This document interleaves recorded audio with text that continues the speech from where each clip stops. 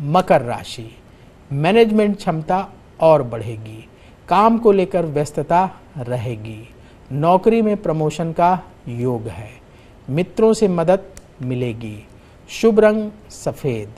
उपाय, भगवान विष्णु की आरती करें।